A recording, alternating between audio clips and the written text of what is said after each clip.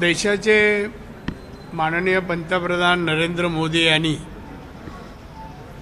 बावीस ऑक्टोंबर दोन हजार बावीसपासून रोजगार मेला हा कार्यक्रम त्यांनी जाहीर केला आणि सरकारी कार्यालयांमध्ये सरकारमध्ये दहा लाख तरुणांना नोकऱ्या द्यायचं त्यांनी घोषित केलं. आणि त्याप्रमाणे आत्तापर्यंत ही पाचवी वेळ आहे. आत्तापर्यंत तीन लाखाच्या घरात तरुणांना त्यांनी नोकऱ्या दिलेल्या आहेत. नोकऱ्या निर्माण करणं आणि नोकऱ्या देणं तसंच प्रमोशन देऊन प्रमोशन दिल्यानंतर ती रिक्त जागेत ते दुसरे रिक्रूट करणं हा उपक्रम आहे. देशामध्ये बेकारी आहे ती कमी करायचं. लागलेल्या तरुणांना कर्तव्याची जाणीव करून द्यायची नियुक्तीपत्र देताना की देशाला शंभर वर्ष जेव्हा होतील स्वातंत्र्याला तेव्हा आपला देश आत्मनिर्भर बनेल महासत्ता बनेल. आणि त्यासाठी तुम्ही सर्वांनी योगदान द्या ज्यांना नोकऱ्या मिळाल्या आहेत ते. आणि भारतात प्रगतीकडे जो चाललाय जगाच्या अर्थव्यवस्थेने भारताने आता पाचव्या क्रमांकावर आला आहे दोन हजार तीस साली तो तिसऱ्या क्रमांकावर येईल. ही जागतिक पातळीवर अर्थव्यवस्थेमध्ये जी प्रगती भारताची चालली आहे त्यामध्ये थोडं योगदान याही मार्ग बेकारी कमी करून तरुणांना कर्तव्याची जाणीव देऊन चांगलं काम या आपला देश आत्मनिर्भर बनण्यासाठी योगदान त्यांनी द्यावं या ईर्षेतूनही हा उपक्रम सार्वजनिक पातळीवर नियुक्तीपत्र दिलं जातं. साहेब एकीकडे पंतप्रधान नरेंद्र मोदी तुम्ही असं म्हणतायत की रोजगार वाढीसाठी प्रयत्न करतायत. मात्र कर्नाटकच्या निकालानंतर उद्धव ठाकरेंनी त्यांचा हुकुमशहा असा उल्लेख केला की लोक आता हुकुमशाहीला कंटाळलेले आहेत आणि त्या बदलाची सुरुवात कर्नाटकातून झाली जसा निकाल आपण पाहिला. तुम्ही नको त्या ठिकाणी नको तो विषय आपण काढताय. एक तर कर्नाटक. आम्ही रोजगार द्यायला आलो. हा उपक्रमच मोदींचा आहे. ज्या माणसाने अडीच वर्षात एकही नोकरी दिली नाही. एकही तरुणांसाठी उपक्रम राबवला नाही. रिकाम टेकडा माणूस अडीच वर्षात दोन तासात मंत्रालयात गेला. ते त्याची बरोबरी मोदी सोळा अठरा तास काम करतात रोज. तर तुम्ही कंपेअर करू ना कर्नाटक हे बघा राज्य आहेत वेगळ्या राज्यात निवडणुका होतात. लोकशाहीमध्ये हा निवडणुका होणं हार जीत ठरलेली असते. समजलं ना? त्यामुळे कंपेअर आणि उद्धव ठाकरेचा प्रश्न मला विचार मी उत्तर देणार नाही. संजय राऊत म्हणलं की पोपट मेलेला आहे तो पोपट मेलेला आहे. एकनाथ शिंदेचा पोपट मेलेला आहे आणि खऱ्या अर्थानं दबाव जो आहे तो विधानसभेच्या कुठलं तुझं चॅनल सांग मला? जी चोवीस तास. जे चोवीस तास. संजय राऊत काय करतो सध्या? काय का काम धंदा? एडिटर म्हणून काय लेख? हे ही भाषा त्याची? पोपट मेला वगैरे? पोपट शिवसेनेत होता. तो जिवंत होता भरारी घेत होता.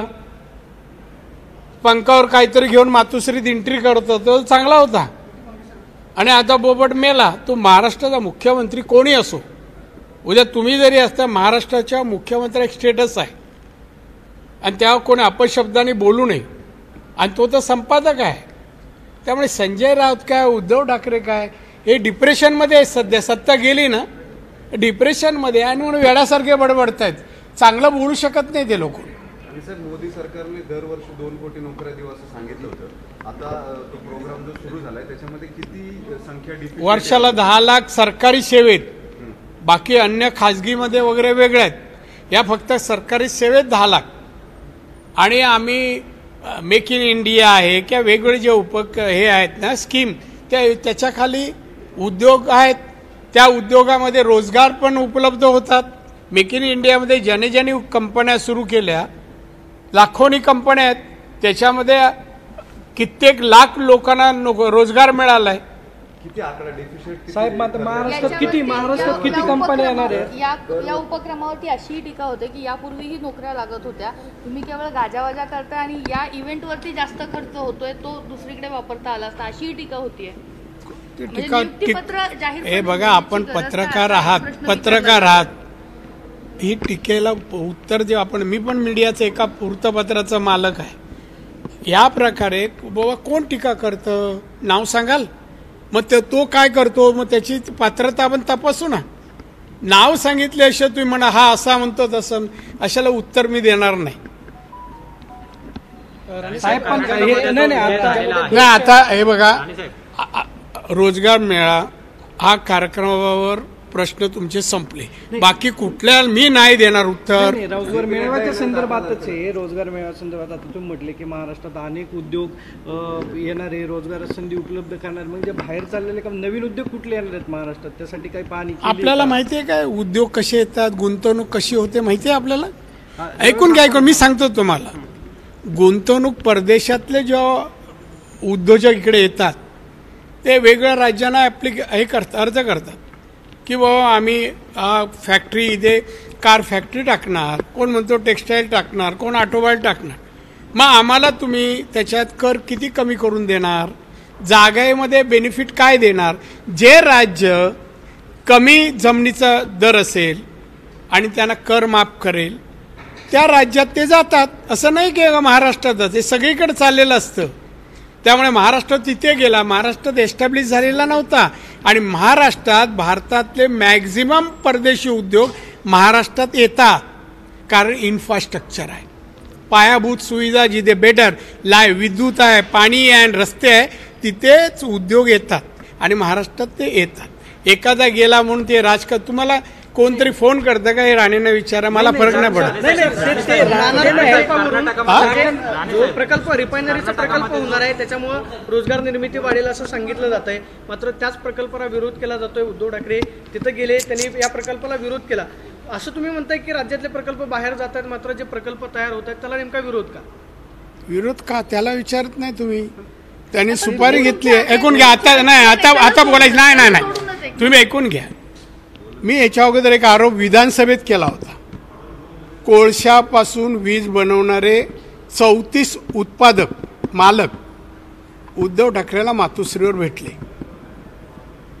जो जैतापूरचा प्रकल्प वीज प्रकल्प आहे तो सव्वा को सव्वा लाख कोटीचा होता. तो आणू नका. उद्योजक काय म्हणाले ते चौतीस? तो आणला तर आमची वीज कोण घेणार नाही? ती वीज स्वस्त आहे.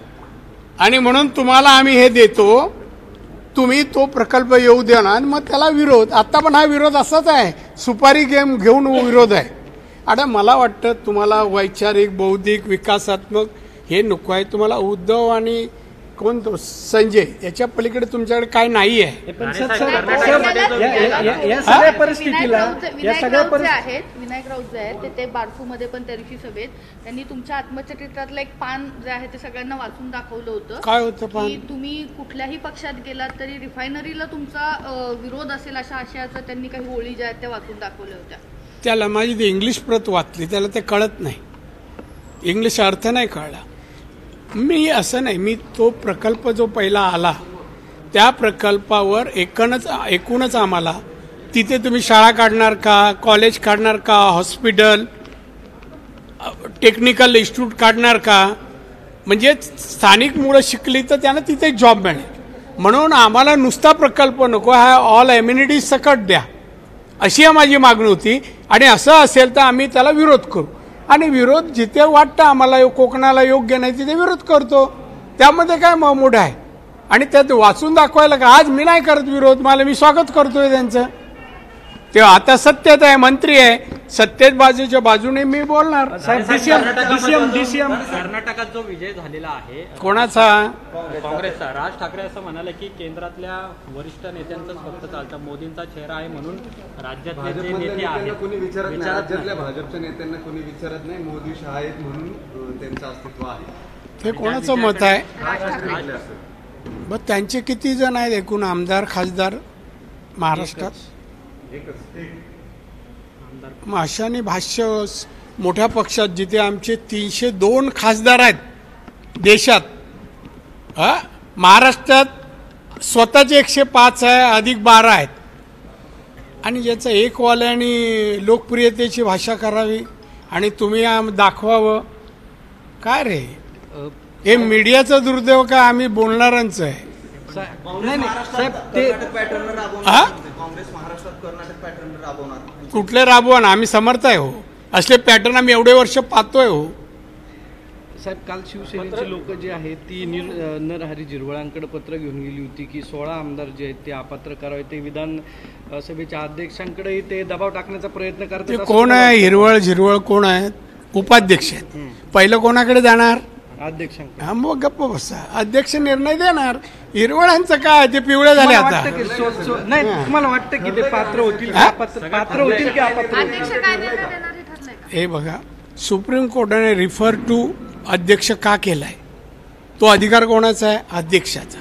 मग त्याच्यावर मी भाष्य करणं बरोबर नाही. मी करणं योग्य नाही.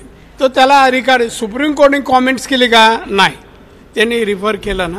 त्यांना निर्णय देऊ दे ना. पण साहेब सगळ्यात महत्वाचं म्हणजे अ, बाहेरचे जे मुख्यमंत्री आहेत नितीश कुमार ते महाराष्ट्रात येऊन उद्धव ठाकरे शरद पवारांची भेट घेऊन गेले की सिराव आले त्यांनी भेट घेऊन गेले. अ, सगळे येऊन उद्धव ठाकरेंचीच का भेट भेट उद्धवना घेऊन फार दुःख झालंय. ते दुःखात आहेत म्हणून सातवण करायला आलेत. पण खाली आले ना फारच दुःखात आहेत ना. सण होत नाही त्यांना मातोश्री. म्हणून म्हणून ते आले. पण तुम्हाला एक सांगू का हे किती पक्ष आहेत? त्यांची सगळ्यांची म्हणून साठ पण नाही खासदार होतो साठ. मग का अशा लोकांची गिनती काही नाही? मराठीत एक म्हण आहे सांगू का? एक ना बरोबर भाराभर चिंध्या एकत्र केलं तरी चादर किंवा ती गोधडी म्हणतात नाही नाही, ते होऊ नाही शकत. राणेसाहेब महाराष्ट्राच्या सहा जिल्ह्यामध्ये सध्या रेड अलर्ट आहे. महाराष्ट्राची माती कोण पडतो असे? महाराष्ट्राच्या सहा जिल्ह्यामध्ये सध्या रेड अलर्ट आहे. दंगल किंवा धार्मिक किंवा इतर नगरमध्ये दंगल परिस्थिती झाली. संभाजीनगरमध्ये याच्या आधी दंगल झाली. अकोल्यात झाली. नाही नाही म्हणजे काय म्हणायचं तुम्हाला? लॉ अँड ऑर्डर चांगली आहे कुठल्याही राज्यापेक्षा चांगली आहे. हे करणारे कोण आहेत त्याचा शोध पोलीस डिपार्टमेंट करते आणि लवकरच त्यांना अटक होईल. गुरुवारी जे पी नड्डा येतात पुण्यामध्ये. भाजपची बैठक कार्यकारिणी. होतीये. कार्यकारिणी राज्यात काही बदल अपेक्षित आहेत? अहो मी पण येतोय ना पुण्यात परवा. तर मी आहे ना मग ते अध्यक्ष अहो ऐकून घ्या. आता चोवीसला निवडणूक आहे की नाही? मग महाराष्ट्रात वेगवेगळ्या भागामध्ये मिटिंग होणार. नड्डांचे ते राष्ट्रीय अध्यक्ष आहेत. कार्यकारिणीची आहे महाराष्ट्राची असं कार्यकारिणीची आहे. ते वेगळ्या भागात होणार. आता पुण्याला होते. कुठे श्री गणेशा करायचा? तो दगडूशेठ केला तर पावतो म्हणून आम्ही पुण्याला पहिलं करतो महाविकास आघाडीचं म्हणणं आहे की या सगळ्या पार्श्वभूमीवरती भाजपची पाय खालची वाळू सरकलेली आहे आणि त्यामुळे महानगरपालिकेच्या निवडणुका पुढे ढकलत चाललेल्या आहेत ते निवडणुका घेत नाहीये मग त्यांचे ते ते सत्तेत होते तेव्हा का नाही घेतली? उद्धव ठाकरे सत्तेत होता ना. मग मुंबई महानगरपालिका का नाही घेतली? तुम्ही आधी अभ्यास करून या. मग आपण घेऊ. मी बसेन पाय दिवसभर. एबीपी माझा. उघडा डोळे बघा नीट.